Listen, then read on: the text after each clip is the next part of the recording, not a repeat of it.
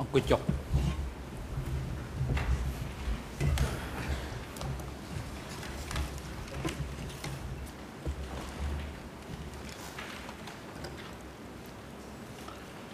អង្គជំរះប្រកាសបន្តកិច្ចដំណើរការនីតិវិធីសម្ដែងការ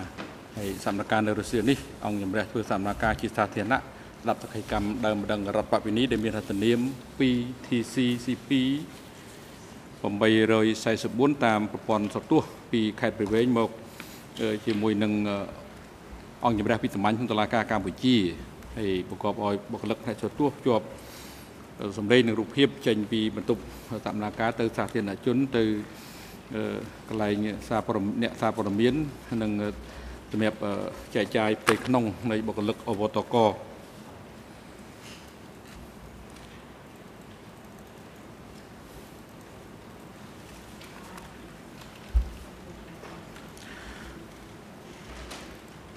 ជំរាបសួរលោកញ៉ែមសំណាងបុគ្គលិកនៃអង្គភាពកម្ពុជាសាក់សីអ្នកជំនាញដែលបំពេញភារកិច្ចសម្រាប់រួលធ្វើសកម្មភាពតាមតាមរយៈប្រព័ន្ធសោទោះពីកន្លែងដែលដើមម្ដងរដ្ឋរំនេះទៅផ្ដល់តក្កកម្មជាមួយនឹងអង្គជំរះលតបោកបានរៀបចំរួចរាល់ហើយឬនៅបាទលោកប្រធានសូមគោរពលោកប្រធាន ការរៀបចំបានរៀបរួចរាល់អស់ហើយលោកប្រធាន អរគុណហើយដើមម្ដងរដ្ឋប្រវិនីតើលោកត្រៀមខ្លួនរួចហើយឬនៅ បាទសូមគោរពលោកប្រធាន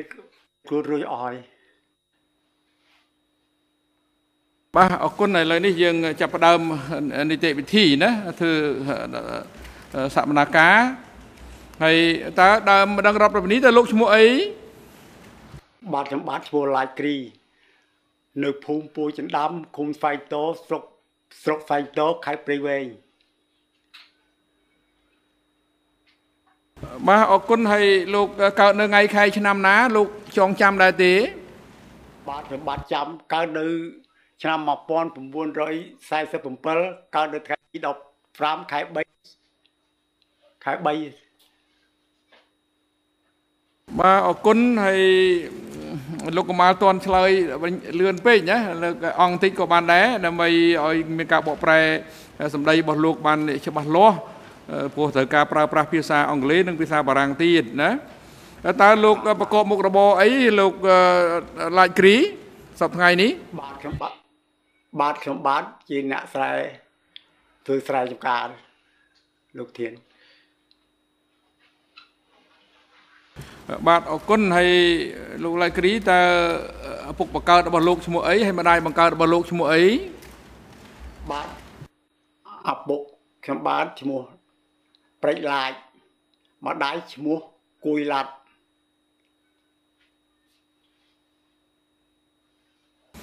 បាទអរគុណចុះភរិយារបស់លោកឈ្មោះអីហើយលោកមានកូនប៉ុន្មាននាក់បាទភរិយាទី1ដែល ស្លាប់ទៅនឹងឈ្មោះដឿកចនមានកូន5នាក់ចុះបច្ចុប្បន្ននេះតើលោកមានភរិយាទី2ដូចឈ្មោះអីដែរហើយមានកូនប្រហែលនាក់បាទសប្តាហ៍កូនភរិយាទី2ឈ្មោះសៀមសវនមានកូន2នាក់ស្រី1ប្រុស1 បាទអរគុណលោកឡាច់គ្រីហើយជាចុងក្រោយបង្អស់នៃការផ្ដល់សក្ខីកម្មរបស់លោកក្នុងឋានៈលោកជាដើមម្ដងរដ្ឋប្រវិនីនឹងរឿងក្តីនេះលោកមានសិទ្ធិថ្លែងរៀបរាប់អំពីស្ថានភាពទុកសោកវេទនានិងស្ថានភាពជាស្ថានកម្មដែលកើតមានចំពោះលោកនៅក្នុងរបបកម្ពុជាប្រជាធិបតេយ្យពីថ្ងៃទី17ខែមេសាឆ្នាំ75ដល់ថ្ងៃ6ខែមករាឆ្នាំ79ប្រសិនបើលោកមានបំណងធ្វើដូច្នេះ ហើយលោកឡៃគ្រីតើលោកធ្លាប់បានផ្ដល់សក្ខីកម្មឬក៏ផ្ដល់កិច្ចសម្ភារជាមួយនឹងអ្នកស៊ើបអង្កេតនៃការិយាល័យសហជីវកម្មស៊ើបអង្កេតដែរឬទេក្នុងអំឡុងពេលកន្លងមកបានលោកធានពេលកន្លងមកបានសម្ភារបាន3ដង នៅផ្ទះនៅផ្ទះខ្ញុំបានលោកម្ដង នៅអីសាលាច្បាប់នេះម្ដងហើយនៅអីកន្លែងអី លោកអីខ្ញុំអត់សតទោសវាមិនបានស្គាល់កាយនោះ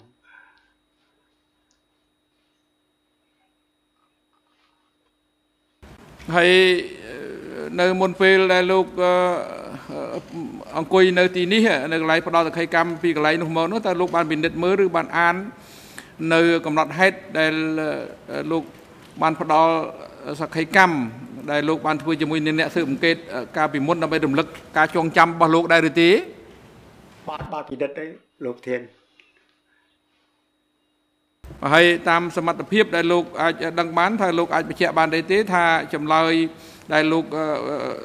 បានអានកំណត់ហេតុដែលលោកបានអានដើម្បីរំលឹកការចងចាំវាសមស្របវិស៊ីសង្វាក់គ្នាទៅនឹងសក្ខីកម្មរបស់លោកដែលលោកបានផ្ដល់ឲ្យចំពោះអ្នកស៊ើបអង្កេតកាលពីពេលមុននោះដែរឬទេបាទលោកប្រធានគឺបានពិតប្រកបមែនហើយគឺថាតាមឯកសារពិតមែន បាទអរគុណហើយអនុវត្តតាមបទបញ្ញត្តិនៃវិធាន91ស្ទួននៃវិធានផ្ទៃក្នុងអវតកអង្គជំរះផ្ដល់វិធាការជូនទៅសហព្រះញ្ញាសុរិញដល់ដើមម្ដងរដ្ឋប្រពៃរូបនេះមុនភាគីដតេទៀតនៅរឿងក្តីសហព្រះញ្ញារួមទាំងសហមេធាវីនាំមុខតំណាងដើមម្ដងរដ្ឋប្រពៃនេះមានរយៈពេល2វគ្គនៃថ្ងៃសហមកាក្នុងការសួររិញដល់សហសីរូបនេះ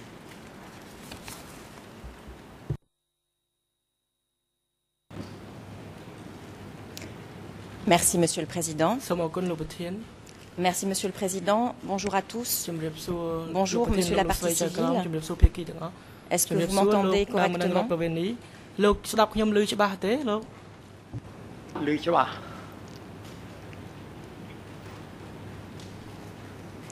Bon après-midi. Je vais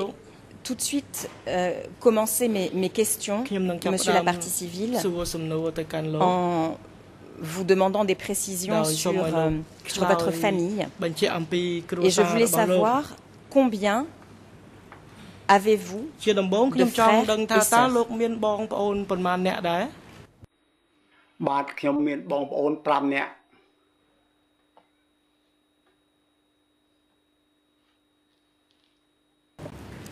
Pouvez-vous donner leur nom et nous indiquer s'il s'agit d'hommes ou de femmes ហើយ5នាក់ហ្នឹងស្រីប៉ុន្មានប្រុសប៉ុន្មានហើយអាយុឈ្មោះអីខ្លះបាទ5នាក់ហ្នឹងបងឈ្មោះឡាច់នីបន្ទាប់មកឈ្មោះឡាច់ណាត់ស្រីបន្ទាប់បន្តិចឈ្មោះឡាច់ណាស្រីបាទមករូបខ្ញុំបាទនឹងឡាច់គ្រីបាទមកប្អូនមួយទៀតឈ្មោះឡាច់ណាង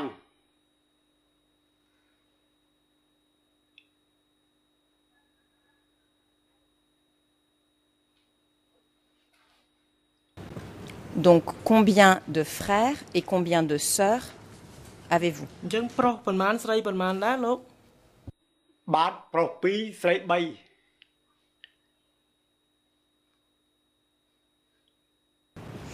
Vous avez mentionné le nom de Lakni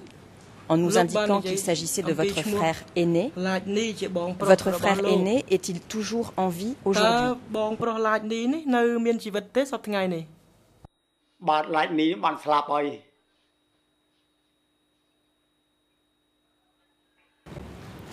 Pouvez-vous nous indiquer en quelle année il est décédé ស្លាប់នៅឆ្នាំណាដែរលោកនៅឆ្នាំមើល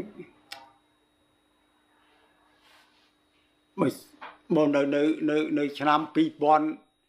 2006 2006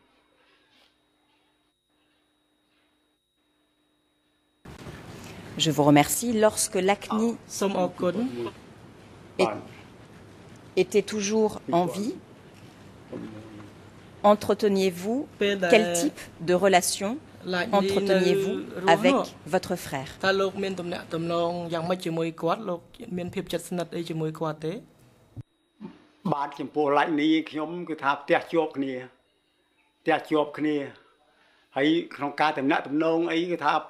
តើលោកមានទំនាក់ទំនងយ៉ាងម៉េចជាមួយគាត់លោកមានភាពជិតស្និទ្ធអីជាមួយគាត់ទេបាទចំពោះឡាច់នេះខ្ញុំគឺថាផ្ទះជាប់គ្នាផ្ទះជាប់គ្នាហើយក្នុងការតំណាក់តំណងអីគឺថាតាំងពីបែកមកនោះគឺថាមានការនិយាយនឹករលឹកដល់ពីដានឹងបងប្អូនជាច្រើនដែរ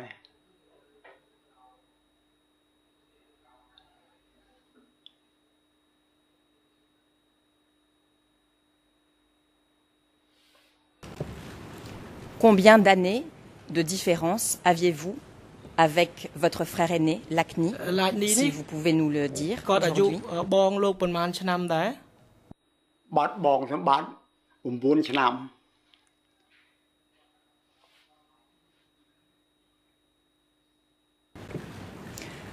Vous nous avez indiqué tout à l'heure que lorsque vous croisiez votre frère aîné, vous discutiez ensemble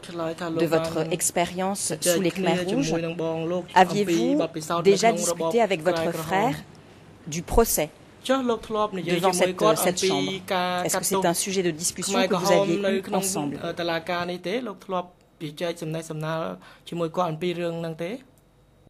បាទកាលខ្ញុំទៅជែកវិញនិយាយហ្នឹងគឺថាមិនបាននិយាយពីតឡាការទេអត់មានបាននិយាយទេនិយាយតែពីរឿងការនឹករលឹកមានដាបអីដាវក្នុងទេ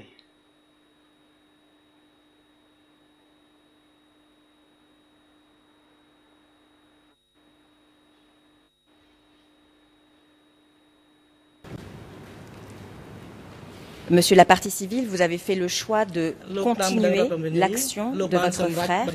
devant ce tribunal. Et je me réfère au document E3 6 9 2 7. Est-ce que vous pouvez expliquer au tribunal pourquoi vous avez décidé de continuer l'action de votre frère devant le tribunal pour les Khmer rouges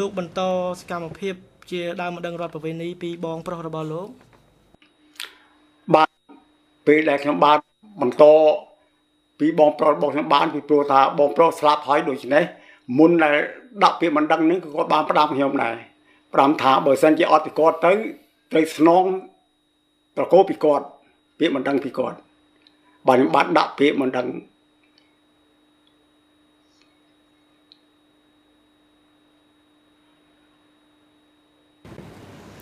Je vous remercie. Je voulais maintenant vous, vous, ramener à la période du Kampuchea démocratique, dans le village où vous viviez à l'époque, le village de Pochendam. Je voulais savoir si votre frère vivait à vos côtés à l'époque.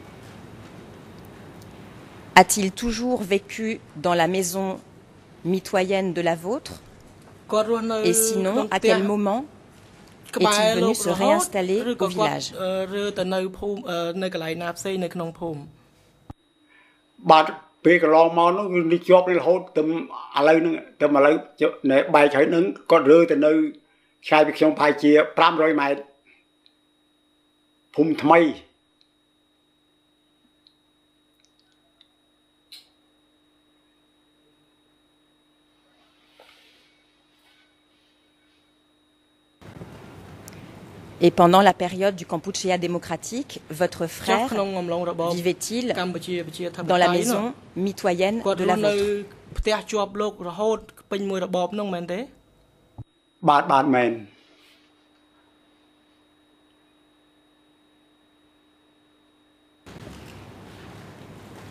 ផ្ទះជាប់លោករហូតពេញមួយរបបនោះមែនទេបាទបាទមែន Votre frère est-il toujours resté à Pochendam ou est-il parti travailler ou étudier ailleurs បាទអត់មានទេនៅភូមិពោចិនដាមរហូត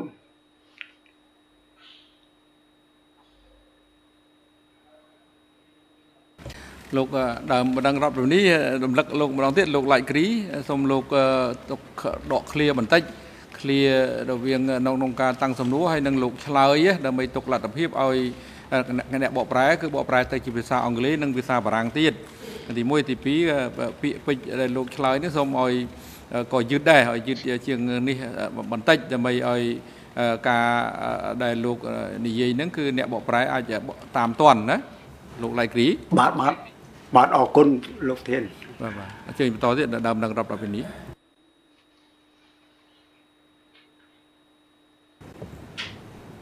Merci, Monsieur le Président.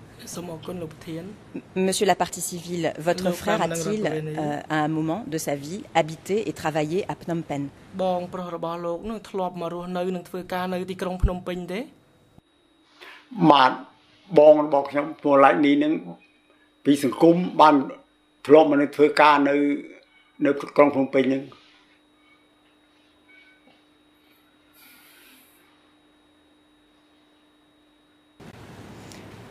Vous souvenez-vous de l'année à laquelle il est revenu dans votre village natal?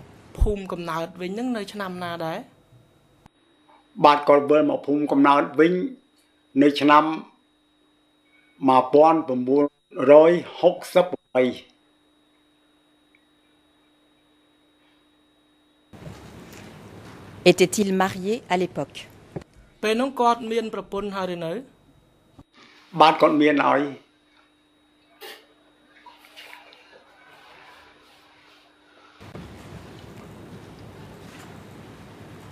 Dans quelles circonstances avez-vous rencontré son épouse Vous souvenez-vous de la période et des circonstances dans lesquelles vous avez rencontré son épouse et merci de nous indiquer son nom si vous le, si vous le connaissez. លោកនៅចាំឈ្មោះប្រពន្ធរបស់លោកទេប្រពន្ធរបស់គាត់ទេគឺបងថ្លៃលោកហ្នឹងណាបាទខ្ញុំបាទចាំ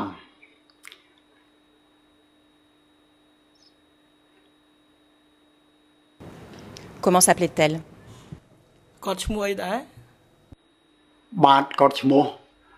Somsan.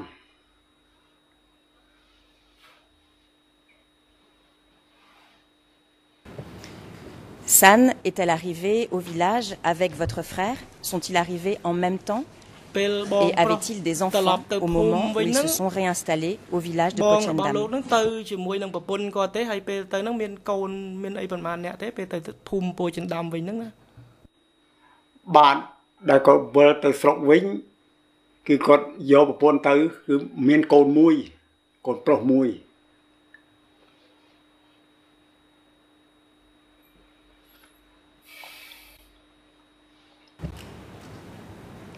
Son épouse parlait-elle le khmer?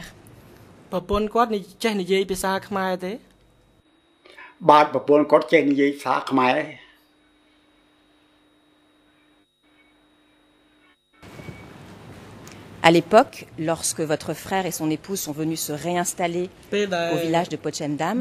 connaissiez-vous les origines ethniques de la femme de votre frère, de San ដើមកំណើតរបស់បងថ្លៃលោកទេខ្ញុំបាទដឹងដឹងពីបងខ្ញុំឈ្មោះឡាច់នីនឹងគាត់ប្រាប់ថាប្រពន្ធរបស់គាត់គឺនៅខេត្តបាត់ដំបងប្រពន្ធរបស់ឡាច់នីនឹងនៅខេត្តបាត់ដំបង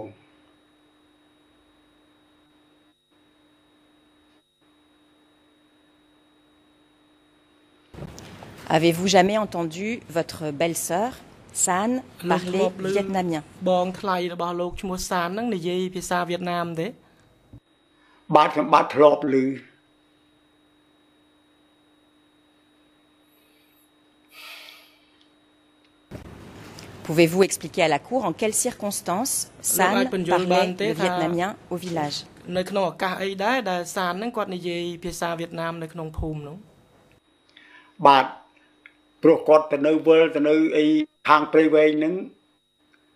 គាត់រកស៊ីរបរលក់បន្លែបាទលក់បន្លែ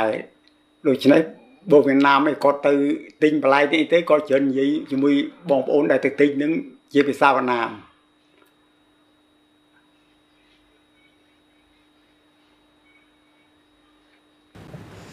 Vous nous avez dit que votre belle-sœur était née à, à Battambang.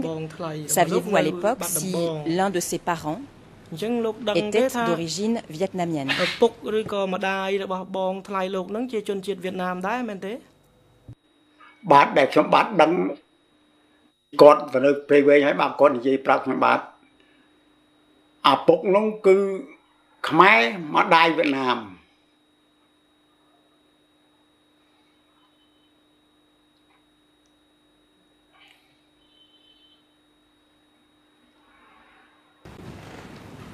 À votre connaissance, y avait-il d'autres personnes d'origine vietnamienne dans le village de Pochendam?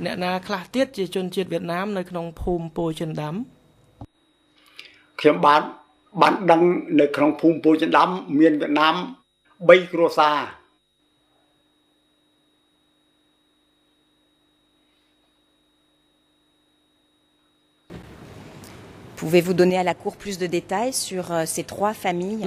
vietnamiennes et qui étaient d'origine vietnamienne au sein de ces familles ហើយនៅក្នុងគ្រួសារទាំង3ហ្នឹងអ្នកណាខ្លះដែលមានដើមកំណើតវៀតណាមសុទ្ធសាធតែម្ដងនោះ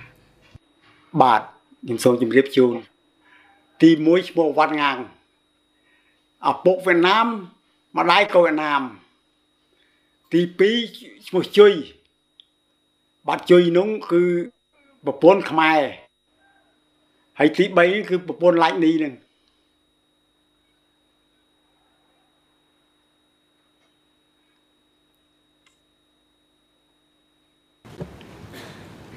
Vous souvenez-vous en quelle année les Khmers rouges se sont définitivement installés à Pochendam នៅឆ្នាំណាដែលខ្មែរក្រហមចូលមកនៅភូមិពោចិនដាំនេះពេលដែលខ្មែរក្រហមចូលមកនៅភូមិចិនដាំឆ្នាំ1970 70ឆ្នាំ70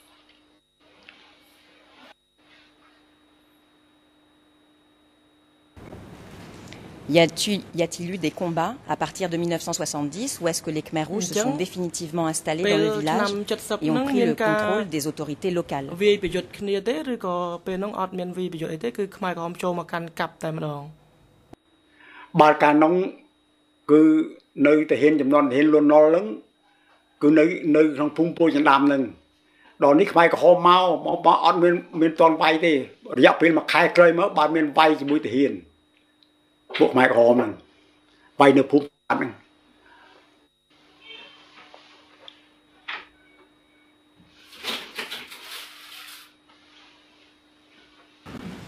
Et vous souvenez-vous de l'année à partir de laquelle les Khmer rouges ont pris part aux autorités euh, communales, aux autorités du village Était-ce tout de suite après 1970 ou était-ce un petit peu plus tard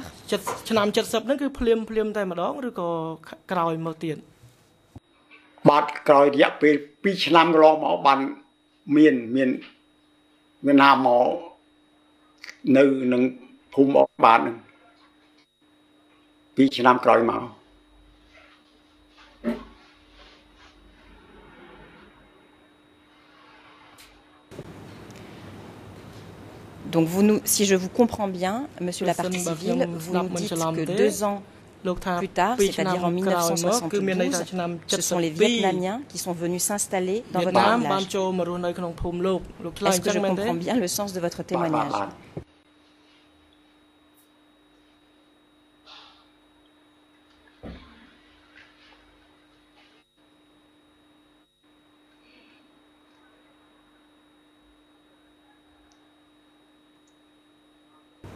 Je n'ai pas eu de traduction en français. Je vais peut-être ទំនងជាមានបញ្ហាហើយអាចតាំងសំណួរសាច់ថ្មីម្ដងទៀតមើលតើដើមមិនដឹងរដ្ឋរំនីទទួលទំនួលបានទេលោកលោកឡៃនេះតើលោកស្ដាប់យើងបានទេលោកឡៃនេះលោកឡៃបាទបាទ គ្រីបាទត្រាប់បានត្រាប់បានលោកប្រធានត្រាប់បានបាទបាទអរគុណបន្តរៀបចំសំណួរសាយថ្មីម្ដងទៀតមិញវាមានបញ្ហាបច្ចេកទេសឧបករណ៍ណាសួរគ្លីមចាំក៏អត់បន្តិចសិន Je vous remercie, Monsieur le Président. Je vais répéter ma question. Monsieur Latcry, vous nous avez indiqué que les Khmer rouges sont arrivés dans votre zone en 1970. Il y a eu ensuite des combats avec les soldats de Non-Nol que vous situez sur une période de deux années. Et je vous demandais à partir de quel moment les Khmer rouges ont pris possession des autorités locales du village.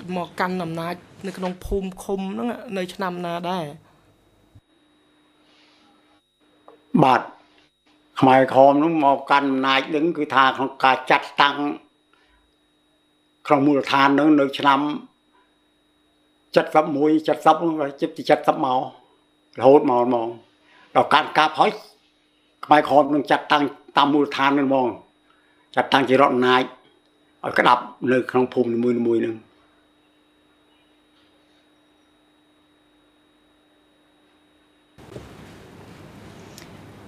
La vie de votre frère et de son épouse a-t-elle changé À partir du moment où les Khmer rouges se sont établis dans le village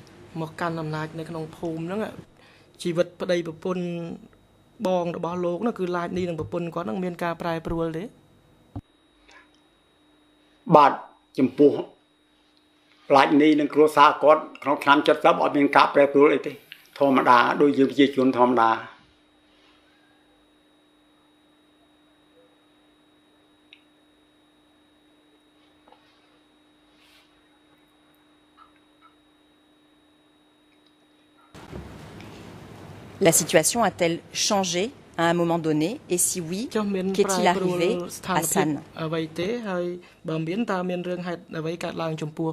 សានបាទពេលដែលចំពោះសាននឹងចំពោះខាងវៀតណាមវិញគឺថា ក្នុងការប្រែប្រួលអត់មានការប្រែប្រួលទេរហូតមកទល់ឆ្នាំ77ហ្នឹងបាទមានការប្រែប្រួល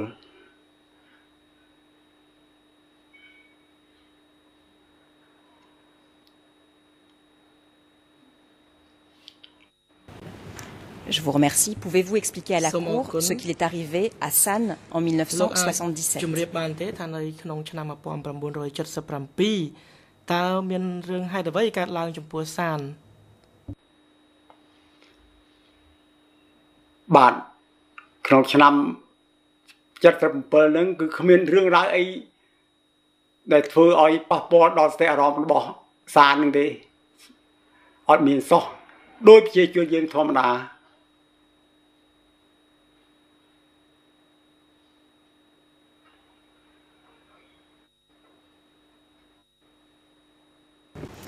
A-t-elle été arrêtée à un moment donné en 1977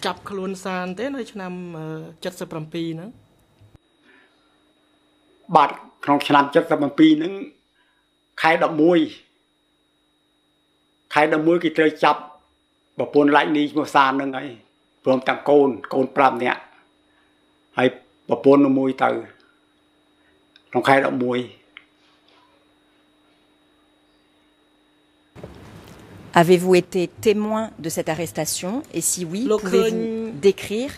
ce dont vous vous souvenez à la cour ហើយបើឃើញនោះលោកអាចរៀបរាប់បានទេពេលនោះគេធ្វើយ៉ាងម៉េចខ្លះខ្ញុំបាទចាប់ប្រពន្ធឡាច់នេះខ្ញុំបាទដែរនៅនៅកំពង់ច្រូតកំពង់ច្រូតនៅក្បែរផ្ទះឡាច់នេះនឹងនៅក្បែរក្រោយផ្ទះខ្ញុំនឹងគេចាប់បាទចាប់បបកូនទៅនៅ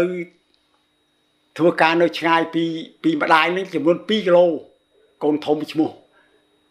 នីននឹងកូននឹងហើយប្រពន្ធនៅផ្ទះនៅជាប់ផ្ទះនឹងផ្ទះដែលខ្ញុំបាននៅនឹងកំពុងច្រូតចូលទៅគឺមានឆ្លូប3នាក់មកឆ្លូបបើឆ្លូបខ្ញុំបាត់ស្គាល់ឈ្មោះច្បាស់គឺអ៊ូងុយហ្មងឆ្លូបនឹងប្រធានឆ្លូបឃុំឈ្មោះអ៊ូងុយហើយពីរនាក់ទៅខ្ញុំបាត់អត់ស្គាល់ទេ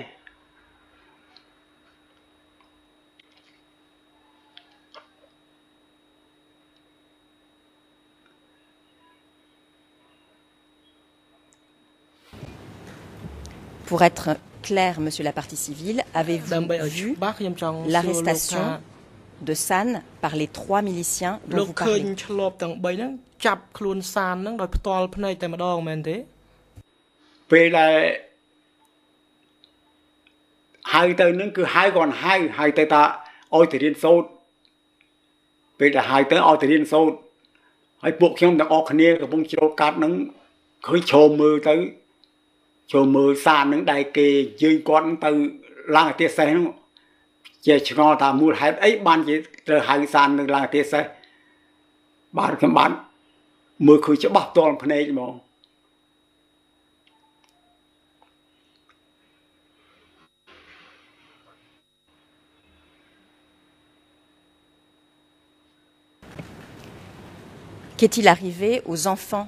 de San. Vous avez parlé de sa fille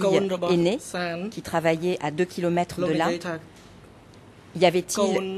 d'autres enfants qui étaient présents le jour de son arrestation? Et si oui, que leur est-il arrivé?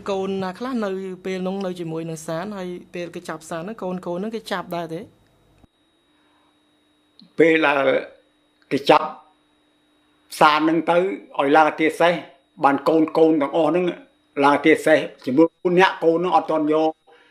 អត់មានបងនឹងទៅនៅធ្វើការឆ្ងាយហើយឲ្យឆ្លប់ទៅយកពីបងនឹងឲ្យមកឲ្យឲ្យឲ្យមក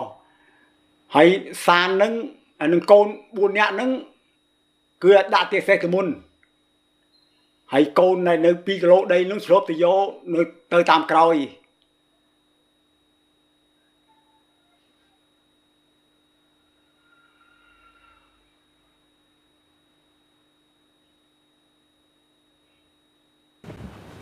Je vous remercie. Vous nous avez indiqué qu'il y avait trois miliciens qui sont venus chercher San et ses quatre enfants. Vous avez donné le nom de celui que vous connaissiez, Ngoy. Ngoy. Euh, D'où venait-il et quelle était sa, sa fonction? Est-ce que vous vous en souvenez?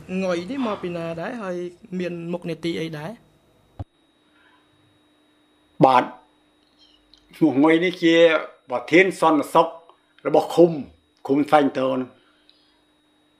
ហើយពីរនាក់ទៀតខ្ញុំបានអត់ស្គាល់ទេនឹងមកពីណាអត់ស្គាល់ពីពីរនាក់ទេនោះ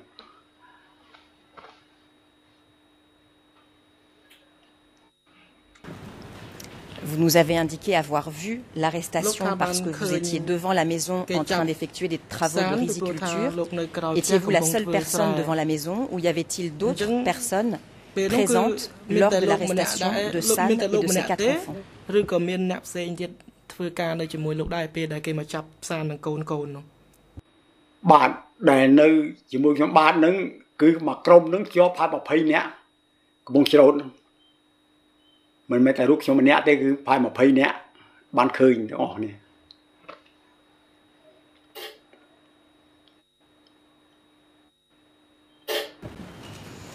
Votre frère, Lakni, était-il présent ce jour-là ប្រុសរបស់លោកឡាចនីហ្នឹងគាត់នៅទីនោះទេថ្ងៃថ្ងៃនោះបានពេលដែលគេចាប់ប្រពន្ធហ្នឹងទៅបងឈ្មោះឡាចនីហ្នឹងគាត់នៅនឹងដែរគាត់ដួលស្លប់គឺចាប់ប្រពន្ធយកទៅហ្នឹងគឺឡាចនីស្លប់ដួលស្លប់នៅក្នុងស្រែក្នុងស្រែហ្នឹងក្រោយមកទៀតបានគាត់ដឹងខ្លួនគាត់ចេះដើរទៅទៅឆ្ងាយទៅពីកន្លែងស្រែជ្រូនប្រហែលយុរ៉ុប2 2គីឡូជាងដើរចេះដើរស្មានទៅហ្មងអត់ដឹងគឺដើរទៅណា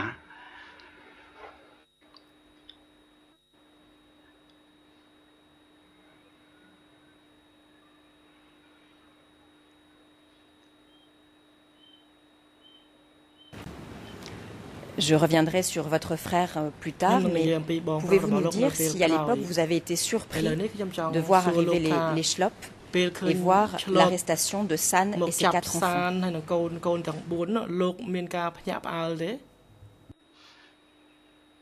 បាទ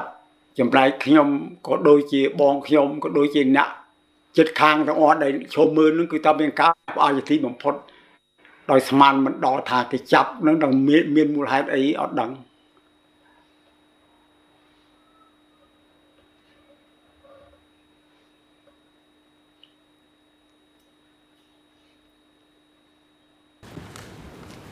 Vous souvenez-vous avoir été informé de l'arrestation de San avant que celle-ci n'advienne?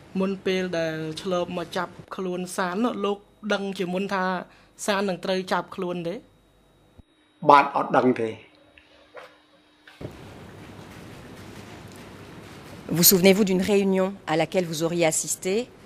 et lors de laquelle l'annonce de l'arrestation de San aurait été faite. លោកបានចូលរួមហើយក្នុងពេលប្រជុំហ្នឹងគេមានប្រកាសថានឹងចាប់ខ្លួនសានអីទេបាទអត់មានទេអត់មានអត់មានប្រជុំបានតឆ្លើយតបដំណឹងរដ្ឋប្រវិនីសូមជ័យលោកវិវិជ្ជកូពេ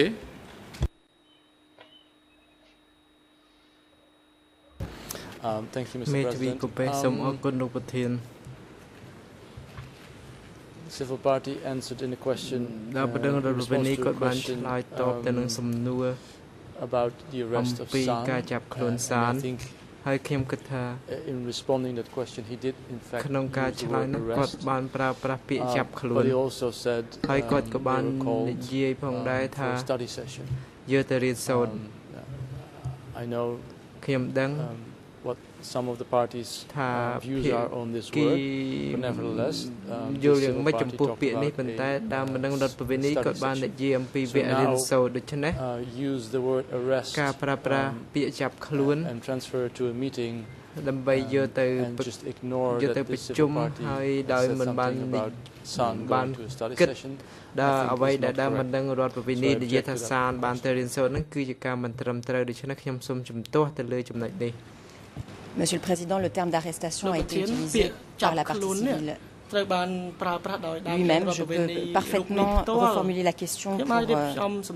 répondre à l'objection de mon confrère. Monsieur la partie civile, avez-vous avez assisté Avez-vous le souvenir d'avoir assisté à une réunion lors de laquelle le sort de San a été discuté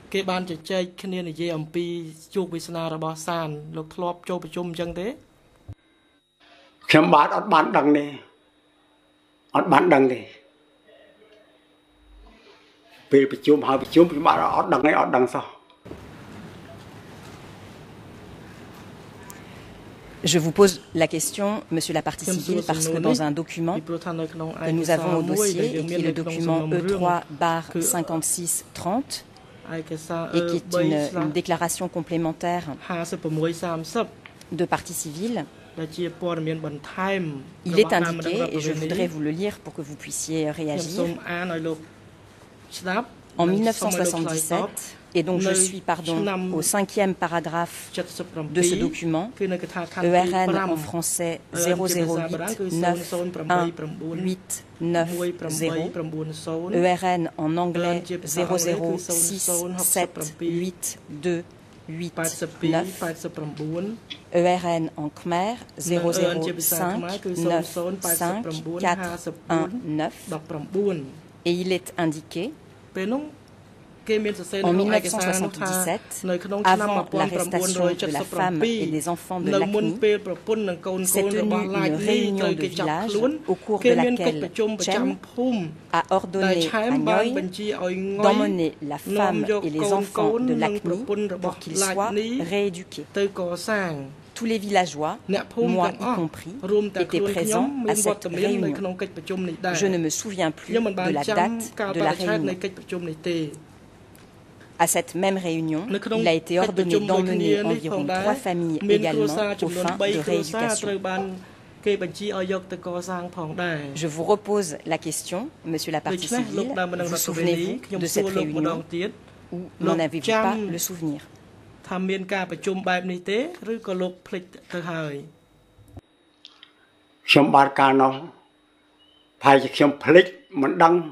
ពីព្រោះការនងដូចខ្ញុំវាភ្លេចភ្លាំងនៅយូរឆ្នាំហើយវាភ្លេចឯងបាទសូមអត់ទោស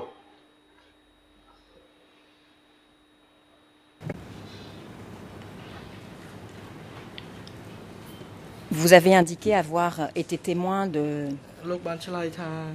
l'arrestation de San et de ses quatre enfants au motif qu'ils seraient convoqués à une session d'études.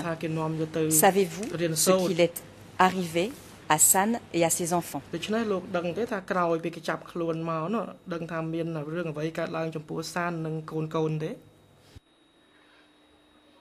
ខ្ញុំបានអត់ដឹងទេដាក់ទេសេះទៅទៅទៅបាត់ហ្មងនឹងទៅទៅណាប៉ុនចុងក្រោយ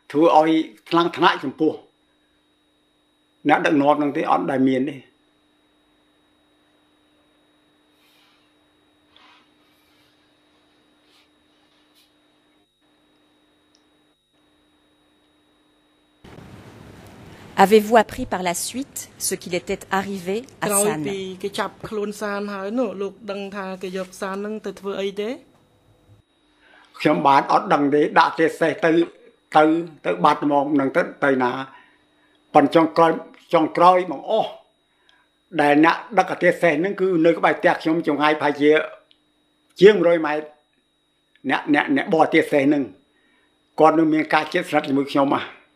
ដល់ចុងក្រោយមកខ្ញុំគាត់ថាសួរគាត់សួរដើម្បីនឹងសួរក្នុងការខ្លាចទេខ្ញុំសួរថាដែលបងដឹកយកទៅយកទៅណាគាត់ថាមិនបាច់សួរទេអូនពីព្រោះគេដល់កន្លែងក្បែរព្រៃនោះគាត់ឲ្យគេណាក់នោះគេមកទទួលមកទទួលនៅឈ្មោះសាននឹងហើយគាត់ក៏បោះទេឡប់មកវិញមកនឹងគាត់គាត់ប្រាប់ខ្ញុំប៉ុណ្ណឹងទេ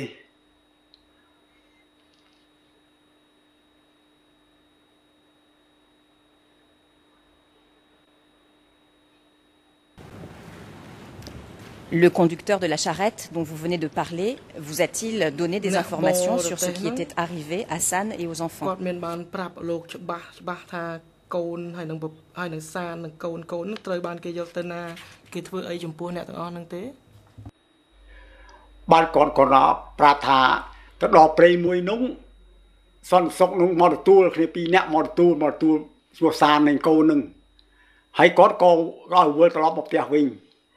បានគាត់គាត់ប្រាប់ថាទៅដល់ព្រៃមួយនោះសន្តិសុខនោះមកទទួលគ្នាពីរនាក់មកទទួលមកទទួលឈ្មោះសាននឹងកូននឹងហើយគាត់ក៏ឲ្យវិលត្រឡប់មកផ្ទះវិញប៉ុន្តែត្រង់កូននោះមិនដឹងយកទៅណាទៅណាគឺក៏អត់បានដឹងដែរ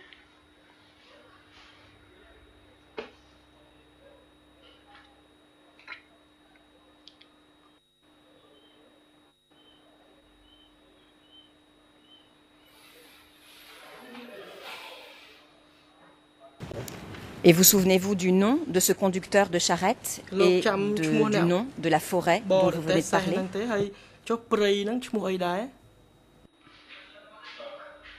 បាត់ព្រៃហ្នឹង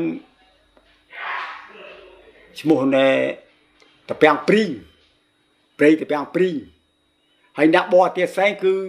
មិនស្គាល់ច្បាស់គឺឈ្មោះត្រីត្រីឥឡូវ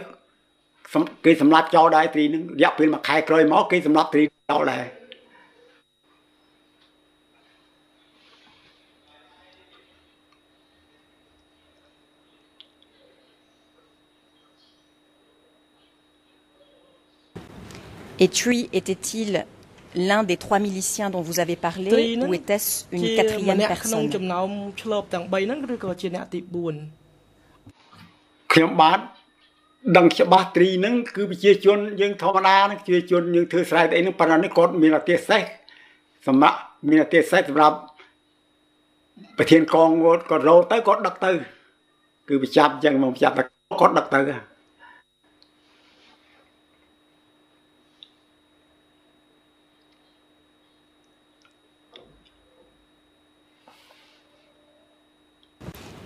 Avez-vous jamais revu San et ses quatre enfants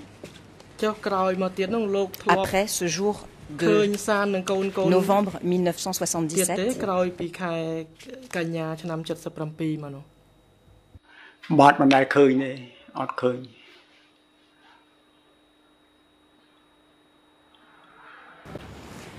Vous avez parlé tout à l'heure de la réaction de votre frère qui s'était évanoui et qui s'était ensuite enfui à, deux kilomètres de là. Pouvez-vous expliquer à la Cour la réaction de votre frère après la disparition de sa femme et de ses enfants?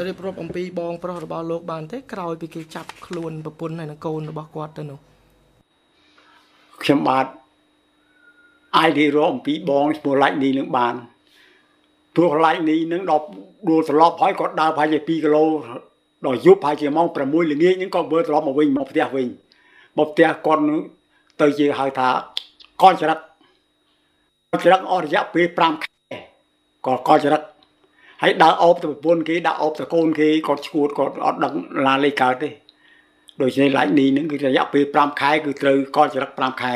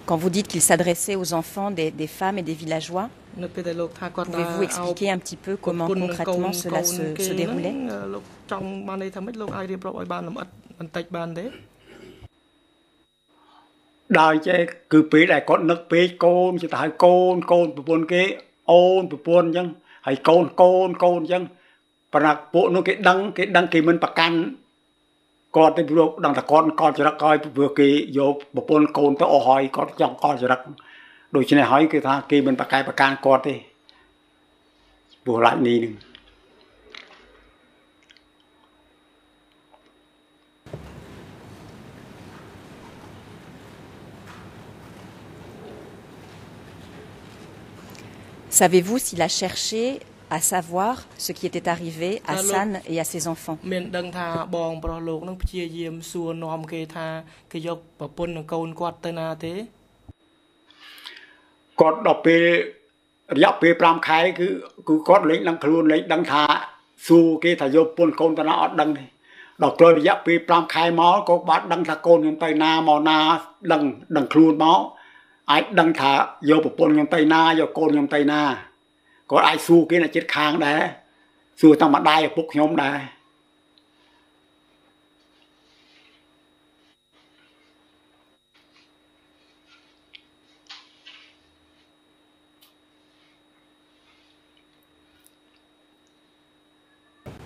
Et qu'a-t-il découvert à l'issue de ces cinq mois A-t-il su où étaient sa femme et ses, ses enfants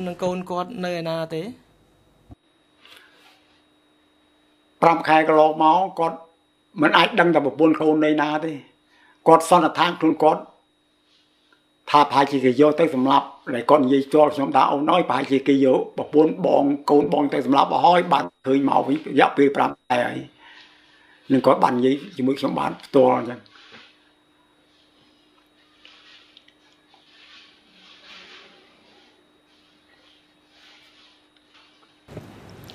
Votre frère s'est-il remarié par la suite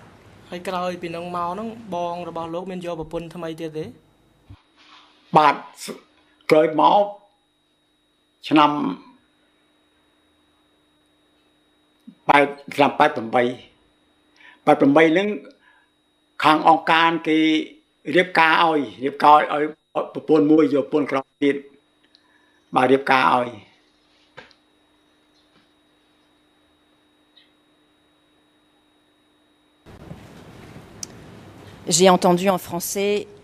la date 88 et le terme encart qui ne me semble pas très euh, cohérent. Donc je vais vous reposer la question peut-être de manière plus ciblée. Votre euh, frère, Lakni, s'est-il remarié pendant le régime des Khmer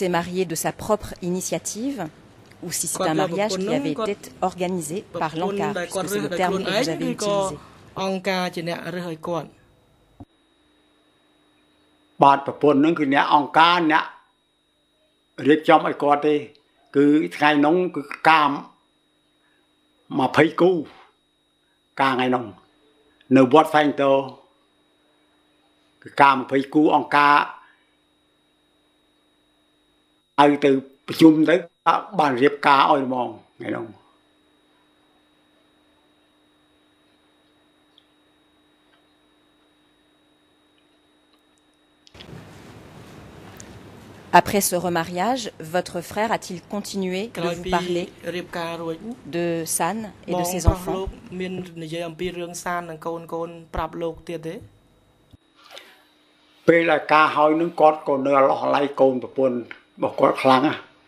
គឺក្នុងការយកប្រពន្ធក្រោយនឹងគឺស្រឡាញ់ដែរប៉ុន្តែស្រឡាញ់ប្រហែល70%ប៉ុណ្ណឹងទេប៉ុន្តែអឡោះឡៃប្រពន្ធដើមរបស់គាត់នឹងកូននោះមិនទាន់អស់ទាត់ហើយផង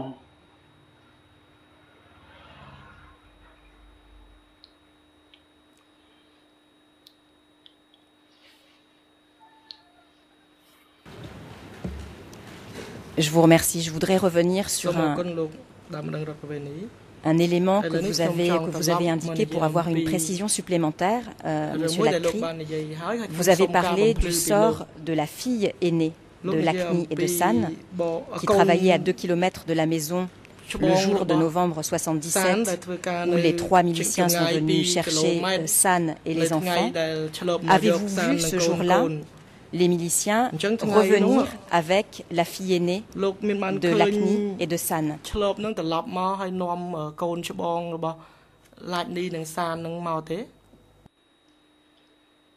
បាទសម្បត្តិឃើញ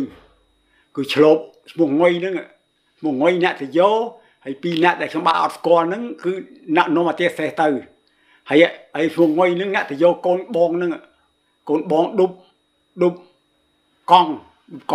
្តាមក្រោយប៉ុន្តែសែប្រហែលជាទៅឆ្ងាយហើយបានកូនទៅទៅទៅទៅតាមក្រោយឃើញច្បាស់បាញ់បាទឃើញច្បាស់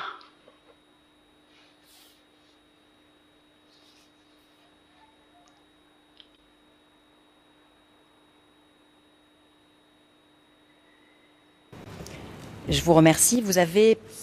indiqué tout à l'heure qu'il y avait deux autres familles qui comportaient des membres d'origine vietnamienne dans le village de Potiendam. Je voulais savoir si vous saviez ce qu'il est arrivé à ces familles à l'époque.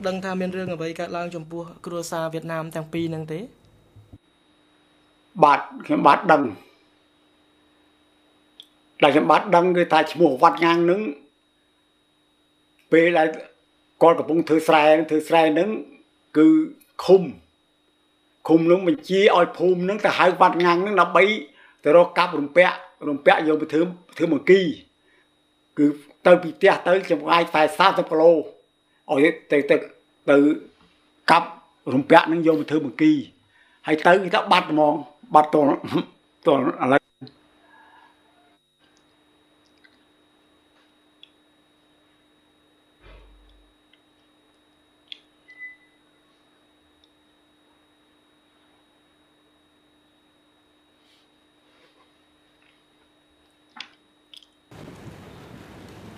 Et comment, comment avez-vous appris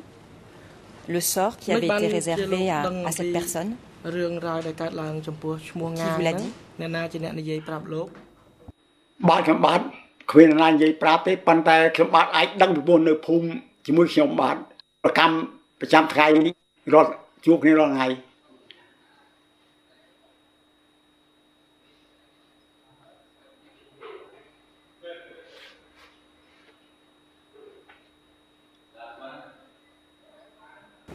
Donc dois-je en conclure que vous voyez cette personne tous les jours au village et que soudainement vous n'avez plus vu Est-ce que c'est bien ça le, le sens de votre témoignage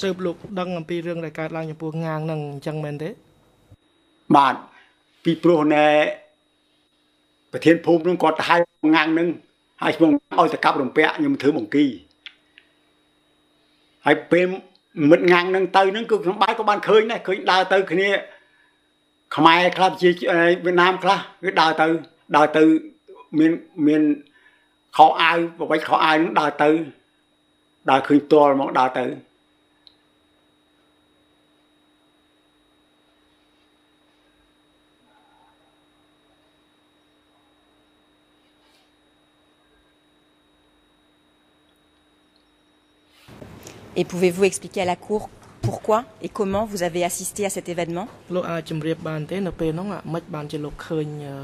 Pouvez-vous expliquer un petit peu plus comment ce, cet événement s'est déroulé et ce que vous avez vu, vous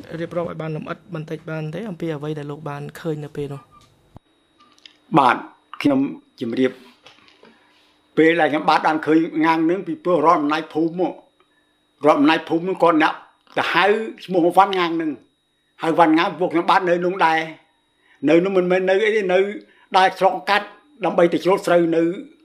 ឆ្ងាយពីផ្ទះខ្ញុំប្រហែលជា3 400ម៉ែត្រដល់ឃើញវាងាត់នឹងដើរទៅខ្ញុំបានក៏សួរសួរប្រធានភូមិនោះសួរថាអេពួកគេទៅណាតាំងពួកយើងទៅម្នាក់ដែរព្រោះវ៉ាន់ងាងហ្នឹងទៅទៅឲ្យកម្មពៈសួរប្រធានភូមិហ្នឹងប្រធានភូមិគាត់ជើទៅមកទៅមកជួបទៅគ្នារាល់ថ្ងៃបានមិនចាប់អារម្មណ៍ថាគេយកវ៉ាន់ងាងទៅណាទៅណាខ្ញុំបានមិនដឹងទេប៉ុន្តែការពិតហ្នឹងគឺយកទៅកម្មពៈ បាត់តឥឡូវទៅ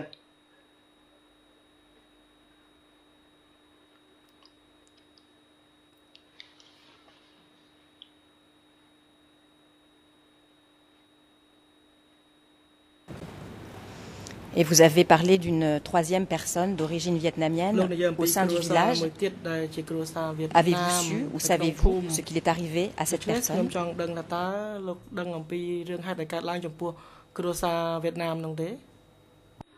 បាទខ្ញុំបាទដឹងឈ្មោះ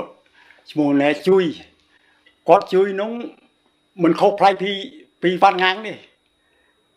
រយៈពេលវ៉ាន់ងាងទៅផាយមួយខែក្រោយមកបានគេហៅជួយឈ្មោះជួយនឹងជួយនឹងទៅទៅទៀតដើម្បីទៅរកកាប់ឈើកាប់ព្រៃអញ្ចឹងកានុងជួយនឹងគេឲ្យទៅកាប់ភ្នាទាំងកលអត់ថាយាមទាំងកលកាប់យាមទាំងកលអីអីនៅព្រៃកបៅដែរបាទមិនខុសពីពីវ៉ាន់ងាងឯងដូចវ៉ាន់ងាងអញ្ចឹង ប្រធានភូមិសាហៅដូចគ្នាអញ្ចឹងដូចគ្នាអញ្ចឹងហើយដល់នេះគ្រួសារជួយនឹងគឺគាត់នៅក្រុមមួយខ្ញុំនៅក្រុមមួយខ្ញុំហ្នឹងដើម្បីមកគាត់បង្កើតផលហ្នឹងប្រដឹងដឹងថាប្រៃរបស់គាត់ហ្នឹងប្រធានភូមិគាត់ហៅទៅកាប់ឈើបាត់ហើយនឹងប្រពន្ធនិយាយប្រាប់ខ្ញុំផ្ទាល់អញ្ចឹង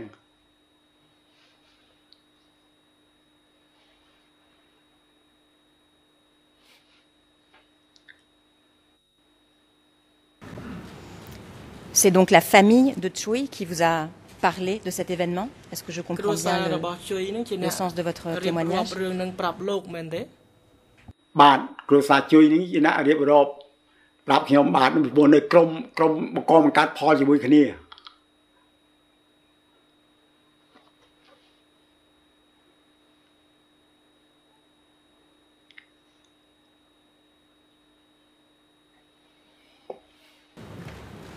Je vous remercie. Vous souvenez-vous si c'est si le premier événement dont vous parlez, dont vous avez été témoin, s'est déroulé avant ou après la disparition de San? Est-ce que c'est un, un, souvenir que vous avez encore en mémoire?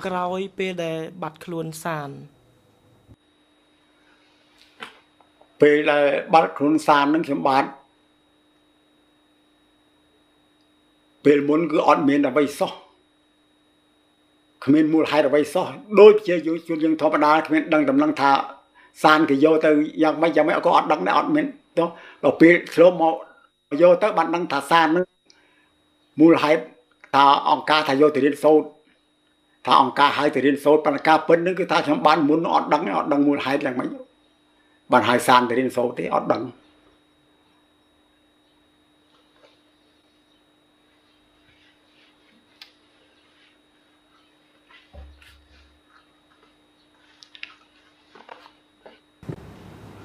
Vous avez évoqué deux autres euh, événements, pour ne pas parler d'arrestation. Savez-vous si les, les conjoints, les époux de ces deux personnes ont également été emmenés?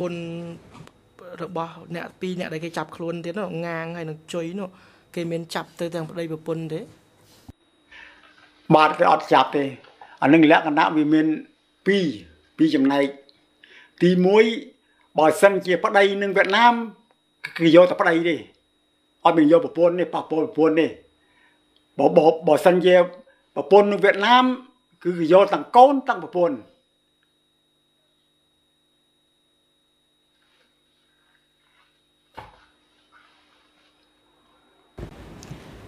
Je vous remercie. Ce que vous venez de dire est-il le fruit de vos propre constatation ou avez-vous entendu un cadre du village dire ce que vous venez d'expliquer à la cour ខ្ញុំបាទតាមខ្ញុំសង្កេតមើលមិនមិនមែនមិនមែនកម្មឲ្យបាននិយាយទេគឺថាខ្ញុំបាទប្រជាជនក៏ដោយរូបខ្ញុំបានដែរអាចដឹងអាចដឹងថាបើសិនជាប្តីនឹងខ្មែរ គឺអត់មានយកកូនតែមួយទេអត់មានទេហើយបើប្តីប្រពន្ធនៅវៀតណាមគឺទាំងទាំងកូនទាំងប្រពន្ធទៅហើយបើសិនជាប្តីនឹងវៀតណាមប្រពន្ធនឹងខ្មែរគឺយកតែប្តីទេអត់មានយកកូនទេ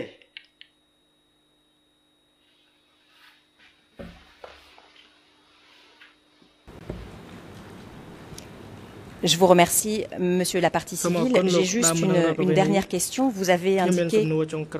que vous viviez pendant le, le régime des Khmer rouges euh, dans la maison mitoyenne de celle de votre frère. Nous avons compris que votre frère s'est remarié. Euh, pendant le régime des Khmer rouges, je voulais savoir si, si vous êtes, vous, la famille, toujours resté dans le village de Pochendam ou si vous avez été euh, ou si vous êtes parti à un moment donné ពូចិនដាំនឹងរហូតឬក៏លោកចេញទៅភូមិណាផ្សេងនៅពេលណាមួយខ្ញុំបាទរស់នៅភូមិពូចិនដាំនឹងតាំងពីម៉ែឪដូនតាខ្ញុំបាទនៅទាំងនឹងហ្មងអត់ដែលទៅណាទេនៅភូមិពូចិនដាំនឹងក៏កើតនៅនឹងហ្មងនៅភូមិពូចិនដាំនឹង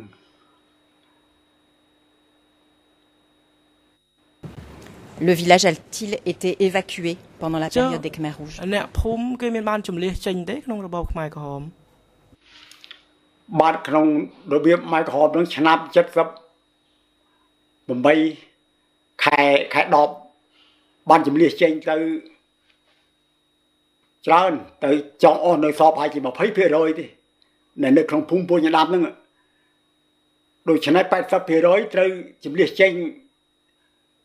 tôi nói khai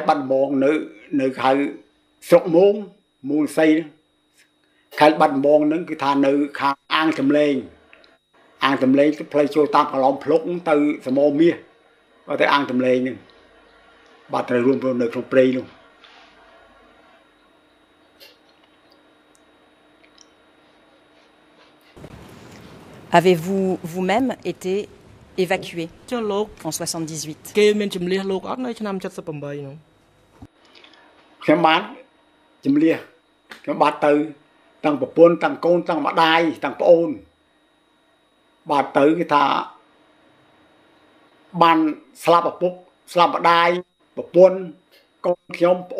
និងកូនក្មួយមួយទៀតគឺទាំងអស់សរុបទៅទាំងឡាច់នេះផង11នាក់ទៅស្លាប់ តាមប្រពន្ធឡាច់នេះបង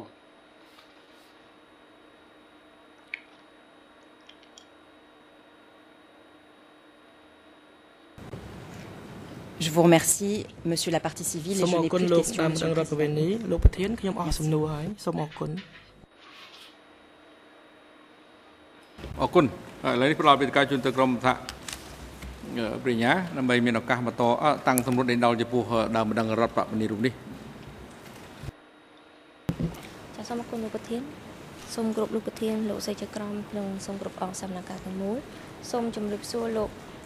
ណាតត្រីណាច់គ្រីលោកស្ដាប់ខ្ញុំឮទេបាទលឺលឺលឺចាំមុននេះលោកបានឆ្លើយនឹងសំណួរថាតើមានបងប្អូនសាច់ញាតិរបស់លោកស្លាប់សរុបប្រមាណអ្នកហើយលោកឆ្លើយថា11អ្នកលោកអាចជួយរៀបរាប់ប្រាប់កលាការបានទេថាអ្នកទាំង11អ្នកនោះមាននរណាខ្លះ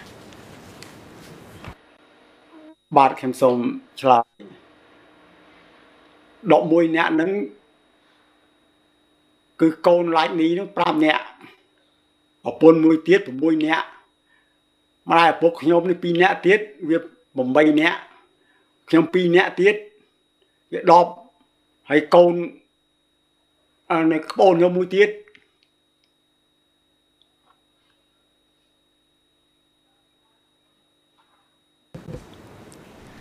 តើមានរឿងអ្វីកើតឡើងចំពោះពុកម្ដាយរបស់លោកដែរខ្ញុំបាទឪពុកម្ដាយនេះក៏បានគេជំទៅនៅបាត់បងនៅបាត់បងគេសម្រាប់ចោលនៅនៅខេត្តបាត់បងនៅនៅមងនោះអ្នកណាជាអ្នកសម្រាប់ឪពុកម្ដាយរបស់លោកហើយនៅក្នុងឆ្នាំណាដែរហើយដោយសារមូលហេតុអ្វី ពេលដែលសម្រាប់ឪពុកម្ដាយខ្ញុំគឺបាទខ្ញុំបាទមិនស្គាល់ឈ្មោះទេអត់ស្គាល់ឈ្មោះទេបាត់នៅនៅនៅក្នុងខេត្តបាត់បងនៅស្រុកមោងអត់ស្គាល់ឈ្មោះទេប៉ុន្តែសម្រាប់ពុកម្ដាយខ្ញុំនឹងគឺក្នុងឆ្នាំក្នុងឆ្នាំ9 89បាទ89ខែ12សម្រាប់ពុកម្ដាយខ្ញុំនឹងហើយគ្រួសារខ្ញុំនឹងក៏ខែ12ដែរសម្រាប់ខែ12ដែរ ហើយប្អូនខ្ញុំបាទនឹងក៏ខែ12ដែរសម្រាប់ទៅថ្ងៃតែមួយនោះលោកអំណាច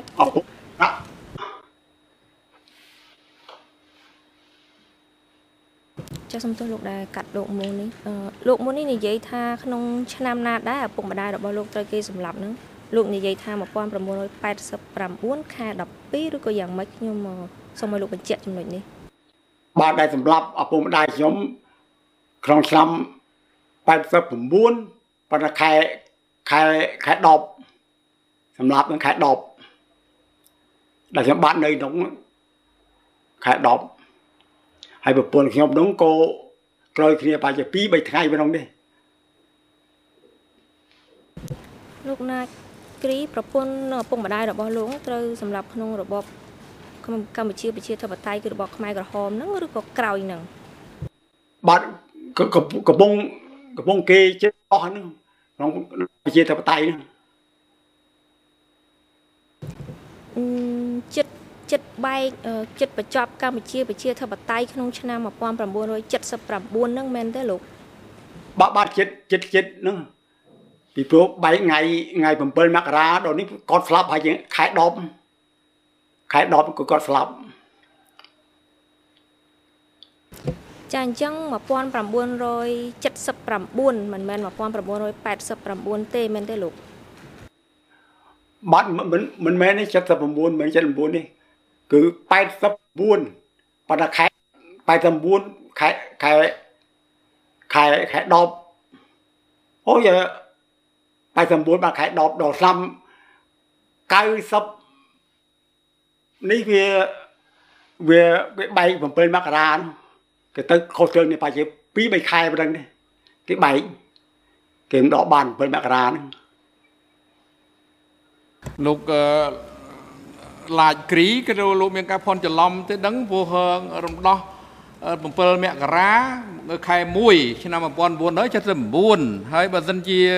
កើតឡើងនៅក្នុងរបបកម្ពុជាប្រជាធិបតេយ្យពី3ខែមុនពេលរំដោះថ្ងៃរំដោះ 7មករា79ទំនងជាឆ្នាំខែ12ឬក៏ខែ10 10ឬ11 12 1978ទេហ្នឹងឬក៏យ៉ាងម៉េចលោកគិតឲ្យបានច្បាស់លាស់ព្រោះលោកផ្ដល់តក្កកម្មនៅចំពោះមុខអង្គជំនុំជម្រះវាមិនមែនលោកលេងនិយាយ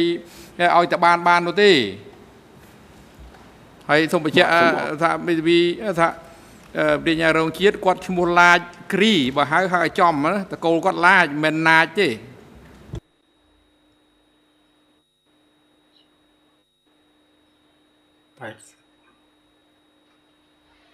ចាសូមអរគុណលោកប្រធានហើយឆ្លើយលោកលោកឡាយគ្រីឆ្លើយបញ្ជាក់មើលសំណួរចម្លើយរបស់លោកគឺ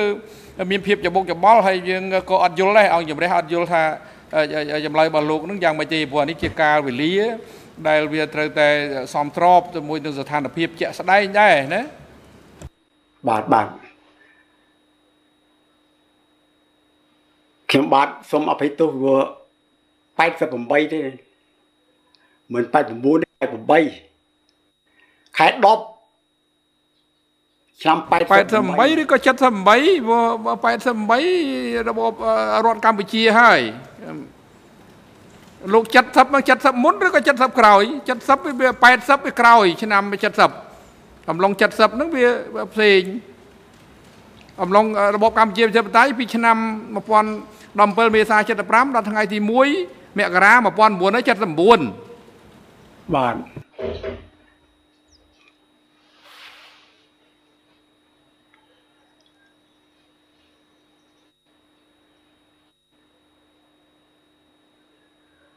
លោកឆ្លើយទំនួលមិញឲ្យបានច្បាស់លាស់បញ្ជាក់មើលកាលៈទេសៈដែលមានបញ្ហាកើតឡើងចំពោះគ្រួសាររបស់លោកឪពុកម្ដាយញាតិសន្តានរបស់លោកនោះនៅស្រុកមូងរុស័យនៅពេលណា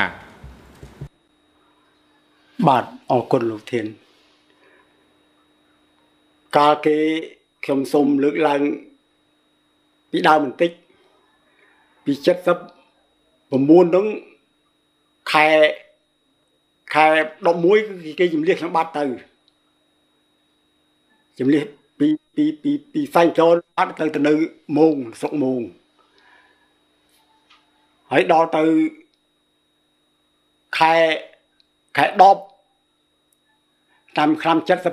78បាត់សុបទោស78ដល់78ហ្នឹងគឺឪពុកម្ដាយខ្ញុំស្លាប់នៅឆ្នាំ78សម្បត្តិទោសឆ្នាំ78លោកធានគឺខែខែ10ឆ្នាំ78នឹងពុំដៃខ្ញុំទៅស្លាប់ប្រពន្ធកូន